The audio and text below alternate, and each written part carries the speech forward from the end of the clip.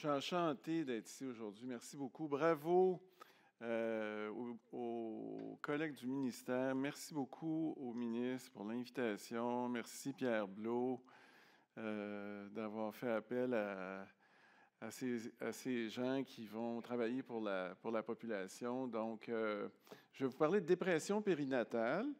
j'ai beaucoup de gens, j'ai pas de conflit d'intérêt, par contre, j'ai beaucoup de gens à remercier. Euh, des, familles qu'on rencontre depuis 89. Euh, les statistiques de cette année, euh, on a eu 320 requêtes à notre, clinique cette année. Tous les gens que j'ai consultés pour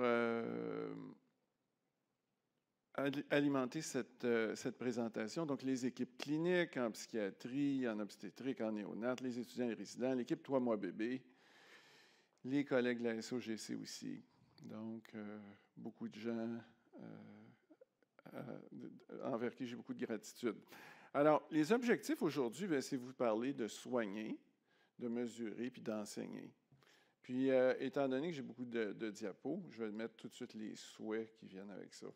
Donc, pour soigner, bien, je vais vous parler d'une perspective multidimensionnelle de la dépression périnatale, puis de l'importance de diversifier un peu, d'élargir un peu notre compréhension de ce phénomène-là, qui, euh, qui, est un phénomène euh, courant et puis qui est très singulier. Donc, ça, c'est le, premier souhait. Le deuxième souhait, c'est euh, de parler des programmes en ligne.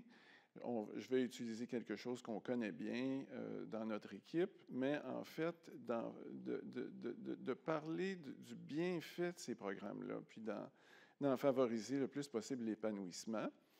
Le dernier point, je vais illustrer à travers le, programme de télémentorat ECO l'importance aussi de construire des communautés de pratique. Puis j'énonce tout de suite un rêve.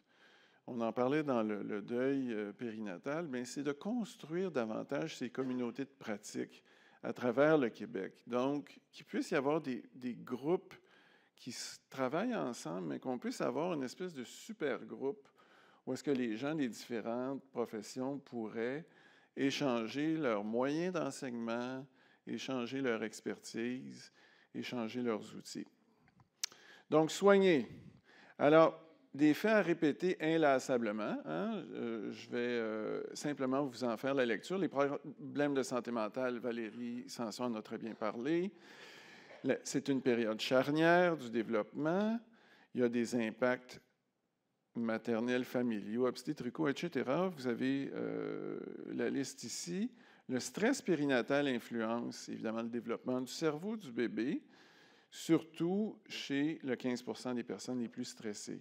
L'investissement précoce est rentable socialement, économiquement, et on note aussi l'iniquité des ressources et de formation qui sont relevées un peu partout.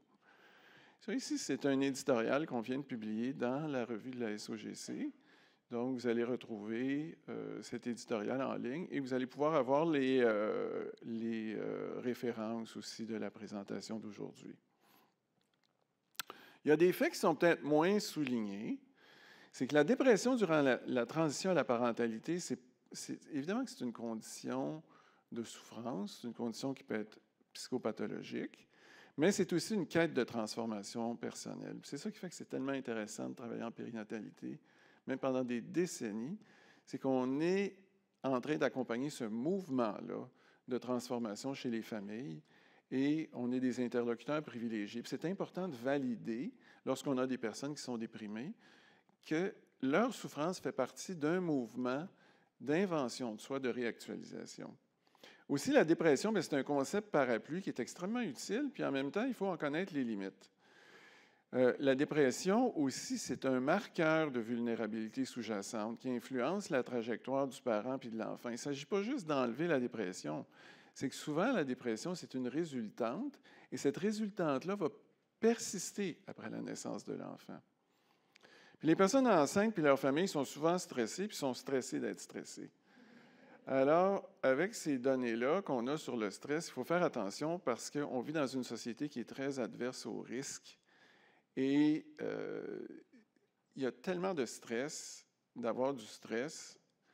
Puis si on prend des médicaments, bien là, c'est encore plus stressant, mais si on n'en prend pas, c'est aussi stressant. Bref, c'est très compliqué. Le mieux vivre, ben, il y a 844 pages, puis une page sur la dépression. Donc, euh, peut-être que ça en prendrait plus. Euh, il y a des choses sur la paternité. La dépression sur les papas, chez les papas est bien, bien reconnue. Euh, c'est un fleuron québécois. On est rendu presque à la troisième génération d'enfants qui, qui, vont, qui, grandir avec le mieux vivre. Alors, j'avais des idées que je voulais partager. Est-ce qu'il y a lieu d'intégrer, il y a une section en 2023, qui a une section intégrée en santé mentale, parce que c'est devenu un champ qui a tellement, euh, s'est tellement épanoui dans les 20 dernières années. Est-ce qu'on devrait mieux expliciter les conditions les plus fréquentes? Est-ce qu'il faudrait mieux décrire les compétences du nourrisson aussi? D'accord, on a les problèmes avec le lait, le rash de couche, etc., mais les bébés ont leur singularité et la contribution des bébés à l'humeur parentale est importante. Donc, plus on connaît la singularité du bébé, mieux on va intervenir auprès du bébé. Est-ce qu'il faut élargir la représentation de la diversité? Est-ce qu'il faut accroître le caractère, bon, j'ai mis ce mot-là, le caractère ludo-éducatif des contenus? Bref, euh, que ça, soit le fun à lire dans une salle de bain. Alors, vous avez ici un produit euh, ontarien qui est l'outil de dépistage de la dépression du postpartum en 10 questions. Euh, c'est un questionnaire qui est destiné aux femmes, donc il y a une petite mise à jour à faire là-dessus. Euh, l'échelle de dépression, bien, Valérie Sanson en a parlé. La sensibilité, la spécificité est bonne. C'était un bon outil. Il y a une sous-échelle d'anxiété qu'on fait avec des analyses factorielles quand on regarde ça. Il y a question de suicidalité. L'échelle des PDS, elle, est, très utile, puis en même temps, elle est un peu amusante. Il y a, un côté où est-ce qu'on met les déprimés à gauche, puis les, pas déprimés à droite. Il y a 10 questions avec quatre questions. Puis j'ai sorti ma calculatrice, je, pensais que je m'étais trompé. Quand on, ça fait 1 million 48 000 configurations possibles, avec 10 questions, 4 réponses, multiplier 4 fois 4 fois 4 fois 4, ça fait 1 million. Ça veut dire qu'il y a beaucoup, tout ça pour vous dire qu'il y a beaucoup de forme que ça peut prendre. Et puis ça peut fluctuer au, fil du temps. Donc, excellent outil à prendre aussi avec un recul. Alors, la dépression est multidimensionnelle. Les facteurs étiologiques sont variés. On vient de publier un article sur l'anémie, la pauvreté. Les profils sémiologiques sont différents. L'irritabilité, la fatigue, la, tristesse, le sous-typage aussi. Hein. Il y a le, les deuils compliqués, la dépression majeure, le trouble d'adaptation, la dépression bipolaire. Les comorbidités. Hélas, cette semaine, on a entendu parler beaucoup de la question traumatique. Et ce que je peux vous dire, c'est qu'en clinique, on la voit très, très souvent. Donc, c'est impératif qu'on développe des formations qui sont axées sur la régulation des émotions et sur la, contribution traumatique aux conditions euh, périnatales courantes. On est rendu là. On est rendu à l'ère post-EPDS. Les modulateurs de la famille, les modulateurs de la dépression, le bébé, la place du bébé qui est très importante, la famille, la culture, l'inclusion, la sévérité, et puis il y a des évolutions qui sont différentes. Ici, euh, j'ai entouré des choses, euh, j'attire votre attention, oups, ici sur, je pense que je ne peux pas viser avec ça, mais sur le, celui d'en dessous, donc on parle des dépressions et pas de la, de la dépression, c'est les dépressions. Je ne dis pas ça pour vous confondre, hein, mais c'est simplement pour qu'on développe une vision un petit peu moins monolithique de cette condition-là qui est devenue comme un, qui est devenue comme un vrai parapluie. Alors, ici, vous avez une étude dans Molecular Psychiatry 2022 sur la, sérotonine.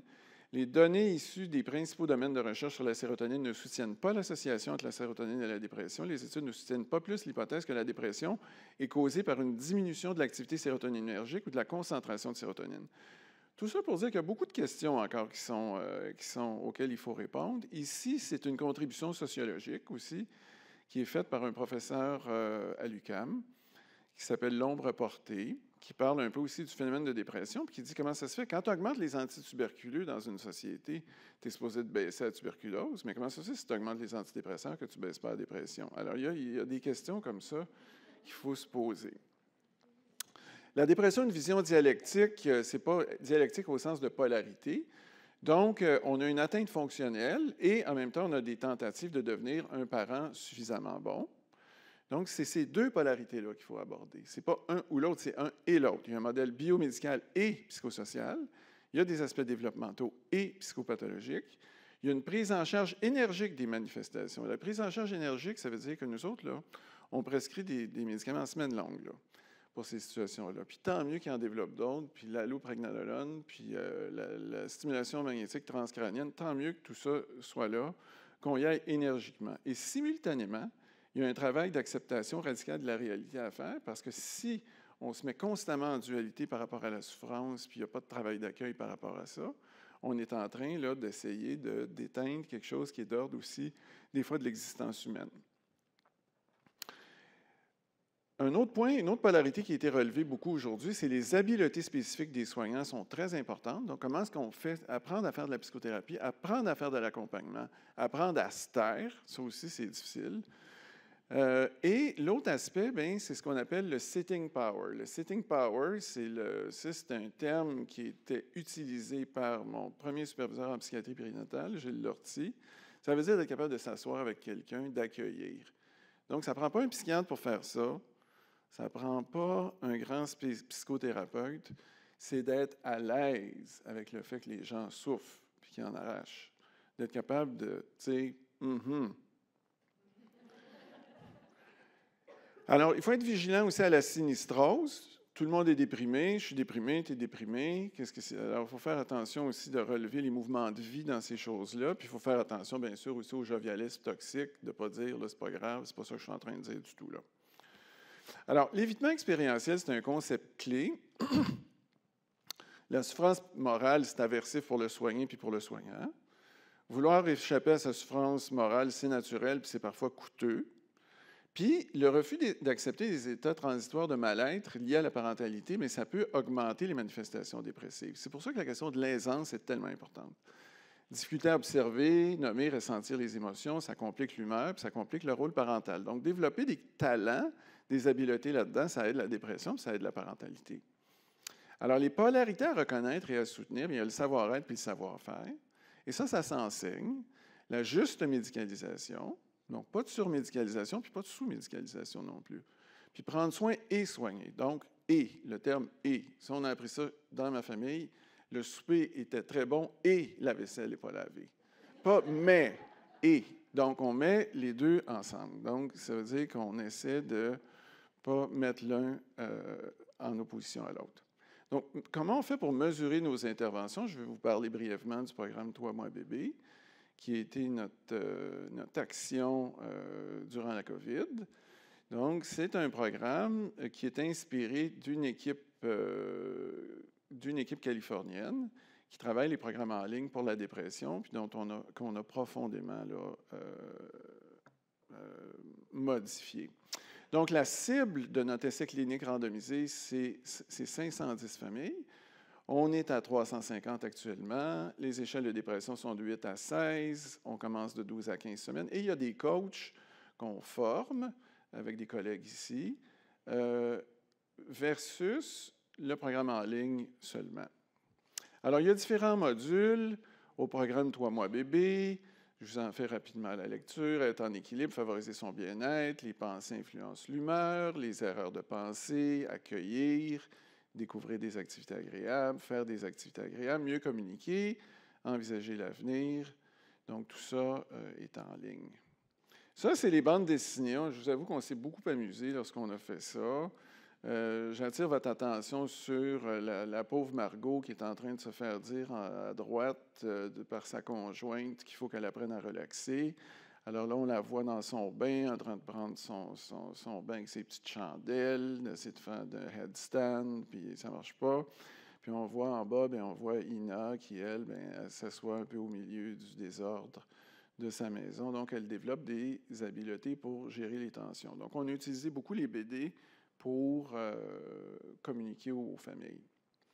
Ici, ben, euh, c'est votre, serviteur qui est en train d'essayer de, parler un peu de, pleine conscience. Un terme d'ailleurs que je trouve personnellement un peu grandiloquent. C'est juste de faire ce que la vie attend de soi, euh, d'être capable d'aller à la rencontre à un moment donné de choses désagréables. Puis j'ai fait ça, il y avait des mouches, tout ça. Donc. Euh, alors, c'est ça. Voici, ça, c'est la liste euh, des. Euh, j'attire votre attention ici sur euh, la section de droite. Ou est-ce que c'est la modification la plus approfondie qu'on a fait du programme Mothers and Babies, c'est-à-dire qu'on a mis beaucoup l'accent sur le savoir-être, ce dont on entend parler depuis ce matin, ce dont Francine nous a parlé aussi, d'être capable d'accueillir, d'être là, d'être avec, puis faire des changements. Donc, c'est deux polarités qu'on influence. Donc, tout ça pour aider les familles à traverser ce chemin parsemé d'embûches qu'elles peuvent, qu'elles peuvent ressentir. Le dernier volet de la présentation de ce matin, c'est je vais vous parler un petit peu de l'enseignement, puis comment on arrive à faire circuler un peu les informations. Puis je veux souligner le travail de plusieurs euh, réseaux qui sont bien en place au Québec. Puis, euh, Carman nous parlait tout à l'heure euh, de l'importance de se parler les uns aux autres. C'est tout à fait vrai. Puis en même temps, bien, ces organismes-là, évidemment, peuvent bénéficier aussi du soutien gouvernementales, je pense, pour euh, faire rayonner leur action. Donc, il y a le réseau santé mentale du jeune enfant, il y a l'Alliance québécoise santé mentale périnatale. Il y a en bas à gauche, il y a le grossesse-allaitement, où est-ce qu'on a écrit plusieurs chapitres de livres qui appartiennent au Centre Image. Croyez-le ou non, le Centre Image reçoit à peu près 50% de ses appels, le Centre Information Médicaments Allaitement Grossesse à Sainte-Justine, 50% de ses appels pour des psychotropes, hein, juste pour des médicaments pour les nerfs. Réseau périnatalité, nos collègues du euh, Réseau des ressources périnatales du Québec. Et puis, il y a des réseaux canadiens et internationaux. Ça, je pense que c'est important. Euh, Francine de Montigny nous a parlé aussi de son implication dans ces réseaux-là. Euh, les réseaux du nourrisson, les réseaux en lien avec la santé mentale maternelle, santé mentale de la, femme.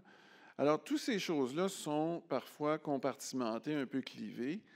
Or, euh, juridiquement parlant, ce n'est pas le même bébé avant puis après la naissance, mais ça reste quand même le même être vivant. Donc, euh, c'est important de s'impliquer dans ces deux polarités-là.